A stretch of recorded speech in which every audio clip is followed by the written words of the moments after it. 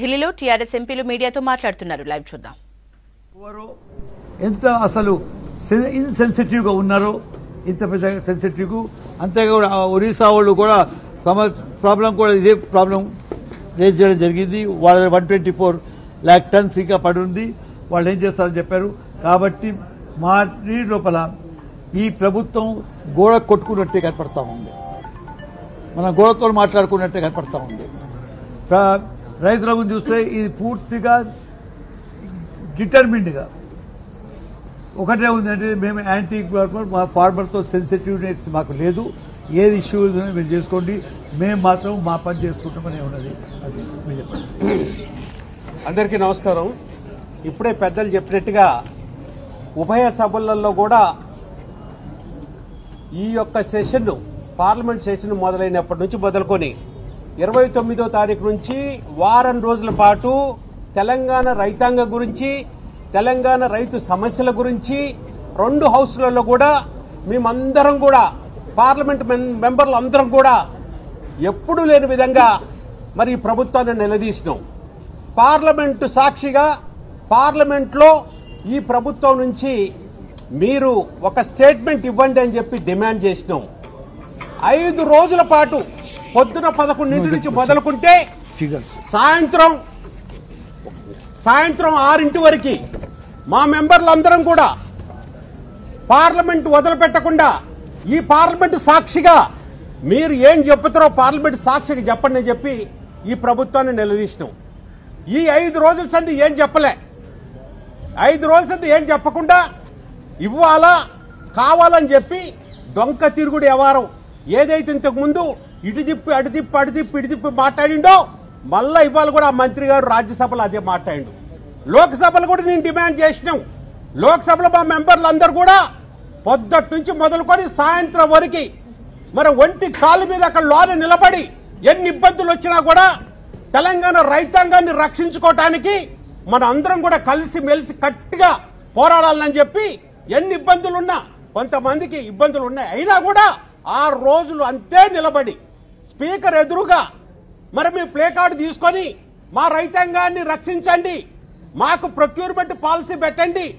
మాకు ఖచ్చితంగా కూడా మాకు ఎంత ధాన్యం కొంటారో చెప్పండి అని చెప్పి ఎంత మొరబెట్టుకున్నా కూడా ఐదు రోజుల సంధి కూడా ఏమాత్రం చెల్లించలే. ఈ ప్రభుత్వానికి రైతుల మీద చిత్తశుద్ధి లేదు. ఇది రైతు వ్యతిరేక ప్రభుత్వం. ఇది కార్మిక వ్యతిరేక ప్రభుత్వం. ఇది పేదల వ్యతిరేక ప్రభుత్వం. ఈ మాటలు నేను ఎందుకు అంటున్నానంటే కార్మికులు పనిచేసేది అన్ని కూడా ఇవాళ మొత్తం కూడా డిజిన్వెస్ట్మెంట్ అని చెప్పి అన్ని అమ్మకాలకు పెట్టారు. పేదలు వాడుకునేటువంటి సామాన్లు అన్నిటికి కూడా ఇవాళ కూడా గ్యాస్ రేటు విపరీతంగా పెంచారు. ఈ విధంగా ఇది పేదల వ్యతిరేక ప్రభుత్వం రైతు వ్యతిరేక వ్యతిరేక ప్రభుత్వం కార్మిక వ్యతిరేక ప్రభుత్వం. ఇటువంటి ప్రభుత్వాల్ని ప్రజలే అందరూ కూడా గమనించాల్సిన అవసరం ఉన్నది. ఇక వచ్చేసరికి ఈ రైతు సమస్యల మీద మేము ఏదైతే మాట్లాడుతున్నామో నాకు ఫ్లైట్లో పోతుంది కాబట్టి మీరు కొంచెం మాట్లాడండి. ఒక్క మాట చెప్పాలంటే మేము ఇవాళ రేజ్ చేసేసి నేను స్పీకర్ని అడిగాను. లెట్ ఇది కాకుండా ఇది క్వశ్చన్ అవర్ కాకుండా మీరు ఇవాళ జీరో అవర్ మనకు డీటెయిల్ చెప్పేసుకున్నా ఒక స్టేట్మెంట్ ఇప్పేయండి అని చెప్పాడు. ఎంతవరకు అయితే మీరు స్టేట్మెంట్ అది గవర్నమెంట్కి చెప్పారో అంతవరకు మేము విత్డ్రా చేసుకునేది లేదు. హౌస్ లోపల నుంచి అని వెల్ లోపల నుంచి. అయితే ఆయన అప్పుడే గవర్నమెంట్కి ఇచ్చి మీరు ఒక స్టేట్మెంట్ ఇవ్వండి అని అన్నాడు. ఆ స్టేట్మెంట్ ఏమనుకున్నట్టు క్వశ్చన్ ఆన్సర్స్ లోపల అది స్టేట్మెంట్ కాదు. I want a particular statement one number two దాని గురించే ఒక హాఫ్ అన్ అవర్ డిస్కషన్ కావాలని ఇప్పుడు రేజ్ చేశాము. ఆ రేజ్ చేసిన తర్వాత స్టేట్మెంట్ ఇస్తారేమో. సరే ఇక అయిన తర్వాత జీరో అవర్ అని చెప్పాడు. I want to Ranjit to give you the details of the figures అదేవిధంగా ఇవాళ పార్లమెంట్లో లోక్సభలో చర్చ జరుగుతున్నప్పుడు ఏ సమస్య మీదనైతే మేము మాట్లాడుతున్నామో ఆ సమస్యలని పార్లమెంట్ దృష్టికి తీసుకురావటమే కాకుండా మిగతా పార్టీలు అందరూ కూడా చెప్పాము అన్ని పార్టీలు కూడా ముఖ్యం కనుక చూస్తే టీఎంసీ కానివ్వండి Congress BJD JDU Shiv Sena CPI వాళ్ళ వాళ్ళ నాయకులు అందరూ కూడా లేచి వాళ్ళ పార్లమెంట్ సాక్షిగా ఇది ఎంత అన్యాయం? వాళ్ళ ఐదు రోజుల సంధి ప్రభుత్వం నుంచి స్టేట్మెంట్ అడుగుతుంటే మీరు ఏమాత్రం కూడా స్పందించట్లేదు. ఇది కరెక్ట్ కాదు. మీరు వెంటనే స్పందించాలని చెప్పేసేసి అందరు కూడా లీడర్లు కూడా నిలబడి మరి మాట్లాడారు. నిలబడి ఈ సమస్యకి పరిష్కారం తీసుకురండి. వాళ్ళు ఒకళ్ళే కాదు ఇది దేశంలో ఉన్న సమస్యను కూడా చెప్పినప్పుడు కూడా ఏ మాత్రం కూడా దాని మీద చెల్లించకుండా దాని మీద ఏ మాత్రం కూడా ఒక రిప్లై ఇవ్వకుండా అన్ని విధాలు కూడా ఇబ్బందులు పెట్టారు. మన రాష్ట్రంలో ఎట్లా ఇబ్బందులు పెట్టుతున్నారంటే రైల్వే వాళ్ళ చేతులు ఉంది. రైల్వేకి కావాల్సినటువంటి మనకి ర్యాకులు పెట్టట్లేదు. మన ధాన్యాన్ని తరలించడానికి ర్యాకులు పెట్టరు. రైల్వే వాళ్ళ చేతులు ఉంది కాబట్టి ఎఫ్సీఏ వాళ్ళ చేతులు ఉంది అందుకని ధాన్యం కొనుగోలు చేయరు. ఇవాళ ఎఫ్సీఏలో కనుక చూసినట్టయితే వాళ్ళు ఇచ్చిన లెక్కల ప్రకారమే ఎఫ్సీఏలు ఇప్పుడు పెట్టుకోవటానికి గోడౌన్లు లేవు. ఎఫ్సీఏ అంతా కూడా నిండిపోయింది. వాళ్ళే ఇచ్చారు. రిటర్న్ స్టేట్మెంట్ ఇచ్చారు. దాని ప్రకారం ఏంటంటే ఒక పక్కన ఎఫ్సీఐ కంట్రోల్ చేసేది సెంట్రల్ గవర్నమెంట్. రైల్వేని కంట్రోల్ చేసేది సెంట్రల్ గవర్నమెంట్. మమ్మల్ని కూడా అదే విధంగా రాష్ట్రాన్ని రాష్ట్ర రైతాంగాన్ని కూడా ఇబ్బంది పెట్టే విధంగా వీళ్ళు కావాలని చెప్పి ఈ మొండి వాదనకి వచ్చి ఈ విధంగా ఇబ్బంది పెడుతున్నారు. మొదటి నుంచి కూడా చెప్తున్నారు మేము బాయిల్డ్ రైస్ తీసుకోమని చెప్పి. ఆఖరి కూడా బాయిల్డ్ రైస్ మరి తప్పకుండా కూడా రెండో పంట వేస్తే తప్పకుండా కూడా బాయిల్డ్ రైస్ అవుతాయి. మనకి ఎండలు ఎక్కువ టెంపరేచర్ వల్ల మనకి ఎక్కువ మరి బాయిల్ నోకొస్తుంది. వస్తుంది రెండో పంటలో నూకు వస్తుంది మరి దాన్ని ఎట్ట చేస్తారు? ఏంటంటే మీరు రెండో పంట వేయొద్దను అక్కడ అంటాడు. ఇక్కడ వచ్చేసరికి వేరే మాట మాట్లాడతాడు. మరి వానాకాలం సంగతి ఏంటంటే అక్కడ ఒక మాట మాట్లాడతాడు. పార్లమెంట్లో ఒక మాట్లాడతాడు బయట ఒక మాట మాట్లాడతాడు. ఈయనకి అన్ని లాంగ్వేజ్లలో కూడా చెప్పినాం. తెలుగులో చెప్పినాం హిందీలో చెప్పినాం ఇంగ్లీష్లో చెప్పినాం. మా నాయకుడు కేసీఆర్ గారు ప్రధానమంత్రి గారికి ఉత్తరం రాసిండు. పీయూష్ గోయల్ గారి దగ్గర మీటింగ్ పెట్టిండు. అన్ని వివరాలు కూడా క్షుణ్ణంగా చెప్పిండ్రు. వారికి మరి ఎందుకు అర్థం కాలో తెలవదు. ఆ తర్వాత మా యువ నాయకుడు కేటీఆర్ గారు వచ్చిండు. మంత్రులు వచ్చినాం. మళ్ళీ ఆ మీటింగులు కూడా చాలా వివరంగా ఇంగ్లీష్లో హిందీలో చక్కగా అన్ని చెప్పినాం. అన్ని చెప్పినప్పుడు మరి ఆ రోజులు కూడా స్పందించలేదు. ఇరవై ఆరో తారీఖున పోయిన నెల మా కేటీఆర్ గారు వచ్చినప్పుడు మీ ఒకటే అన్నాం. అయ్యా మీరు మొన్న పోయినసారి తొంభై నాలుగు లక్షలు తీసుకున్నారు కదా. ఈసారి మాకు లక్- నూట యాభై లక్షలు తీసుకోండి. వన్ పాయింట్ ఫైవ్ క్రోర్ మీరు తీసుకోండి. పోయినసారి తొంభై నాలుగు లక్షలు తీసుకున్నారు అని చెప్తే దానికి కూడా మొండికేసిండు. అప్పుడు మాట్లాడితే కనీసం మీరు ఒక హండ్రెడ్ ల్యాక్స్ ఒక కోటి ధాన్యం తీసుకుంటున్నాను ఒక మాటి బండి అని చెప్పి కేటీఆర్ గారు వారు ఎంతో ప్రయత్నం చేసిండు. రెండు మూడు గంటల పాటు కూర్చొని ఏదో ఒకటి మాకు ఇవ్వండి. దాన్ని బట్టి మా రైతాంగానికి చెప్తానంటే ఏం మాత్రం కూడా చెవిన పెట్టకుండా అన్ని విధాలు కూడా ఇబ్బంది పెట్టాలని కావాలని వీళ్ళు చేసేటువంటి పని. వీళ్ళకి తెలుసు. ఇవాళ కనుక నేను ఒక కమిట్మెంట్ ఇస్తే ఆ కమిట్మెంట్ ప్రకారం మళ్ళీ మేము పంట తీసుకోవాలా? అందుకని ఇప్పుడు ఉత్తగానే చేతులు ఊపుకొని రేపటి పంట వేసిన తర్వాత తెలంగాణ రైతాంగాన్ని ఇబ్బంది పెట్టొచ్చు తెలంగాణ ప్రభుత్వాన్ని ఇబ్బంది పెట్టొచ్చు తెలంగాణ రాష్ట్రానికి ఇబ్బందులు తేవాలనే ఉద్దేశంతో ఈ యొక్క కుట్రపూరితమైనటువంటి వ్యవహారం నడుస్తుందని చెప్పక తప్పదు. ఎందుకంటే ఇన్నిసార్లు అవసరం లేదు. ఒక విషయంలో స్పష్టంగా మేము అడిగిన దానికి మీరు చెప్పాల్సింది ఒకటే ఒకటని చెప్పాం. మీరు రెండు లైన్ల స్టేట్మెంట్ ఇవ్వండి అయ్యా ఈ సంవత్సరం మా పంట మొత్తం కూడా ఇయర్లీ టార్గెట్ ఎంతో చెప్పండి అన్నాం. మా సీఎం గారు అదే చెప్పారు కేటీఆర్ గారు అదే చెప్పారు మా మంత్రులు అదే చెప్పారు సిఎస్ గారు అధికార బృందం అదే చెప్పారు మీ పార్లమెంట్లో కూడా అదే చెప్పాం వాళ్ళకి అర్థం కాకనా? అన్ని అర్థమైనాయి. అర్థమైనా కూడా అర్థం కానట్టుగా కావాలని చేసే పని కాబట్టి ఈ పనికి తప్పకుండా కూడా రాబోయే టైంలో ప్రజలు మీద శిక్షించక తప్పదు.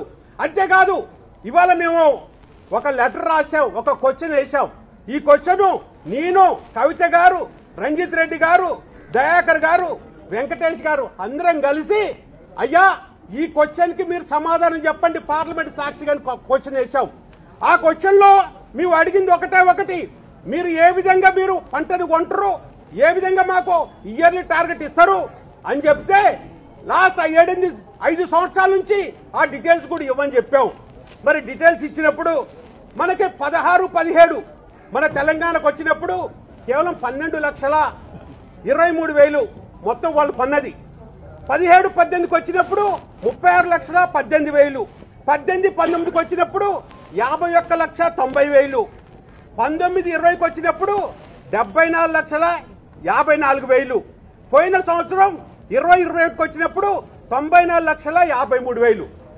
అంటే మీకు ఇవన్నీ ఎందుకు చెప్తున్నానంటే మన రైతాంగం కష్టపడటం వల్ల మన నాయకుడు కేసీఆర్ గారు వచ్చిన తర్వాత కాళేశ్వరం కట్టడం వల్ల కావలసినటువంటి నీళ్ళు ఉండటం వల్ల పుష్కలంగా స్వచ్ఛమైన కరెంట్ ఇరవై నాలుగు గంటలు ఇవ్వటం వల్ల రైతు బంధు ఇవ్వటం వల్ల ఇన్సూరెన్స్ ఇవ్వటం వల్ల రైతుల్ని కడుపున పెట్టుకొని కాపాడటం వల్ల రైతాంగం అంతా కూడా కష్టపడటం వల్ల ఇంత పెద్ద ఎత్తున పంటలు పండినాయి. ఐదు సంవత్సరాల క్రితం ఏదైతే పంట ఉందో ఇవాళ దేశంలోనే నెంబర్ వన్ స్థాయిలో ప్యాడీ పండిస్తున్నాం. అది గురించే పోయినసారి తొంభై నాలుగు లక్షల యాభై మూడు వేలు ఇది మీరు పార్లమెంట్ సాక్షికి ఇచ్చిన లెటర్. ఈ లెటర్లో మేమేం అడుగుతున్నాం? ఈ సంవత్సరం ఎంత ఇస్తారో చెప్పండి. ప్రతి సంవత్సరం మీరు డబుల్ చేస్తున్నాం. ఈ విధంగా డబుల్ అవుతుంది కాబట్టి మీరు ఇప్పటికే మొండికేసిండ్రు ఇబ్బందులు పెడతాండ్రు. ఆ ఈ ఇబ్బందులు రా మా రైతాంగానికి రాకూడదని మేము అడిగితే వాళ్ళు డొంక తిరుగుడు ఎవరని పెట్టారు. అదేవిధంగా ఇంకొక లెటర్ ఇంకొక క్వశ్చన్ కూడా వేస్తే ఆ క్వశ్చన్కి ఆన్సర్ ఏమొచ్చిందా అంటే వాళ్ళ దగ్గర ఎఫ్సిఐ దగ్గర ఈ పండించిన పంట పెట్టుకోవటానికి గోడౌన్ లేవు. మీ ఇందులో ఒక క్వశ్చన్కి ఒక ఆన్సర్ కూడా వేసా మీరు ఎఫ్సిఐని కూడా అమ్ముతారా? రైల్వేలు అమ్మినట్టుగానే విమానం ఎయిర్ ఇండియాని అమ్మినట్టుగానే ఎఫ్సిఐని కూడా అమ్ముతారా? ఒక డౌట్ వస్తుంది. ఇక్కడ ఎఫ్సిఐని అమ్ముతారా అని అడిగితే ఇప్పుడైతే లేదని చెప్పారు. బహుశా రాబోయే టైంలో ఎఫ్సీఐని కూడా అమ్మి మొత్తం రైతాంగానికి దేశ రైతాంగానికి ఇబ్బంది చేసే విధంగా వీళ్ళ ప్రణాళిక ఉండొచ్చు అని ఒక డౌట్ కూడా వస్తుంది.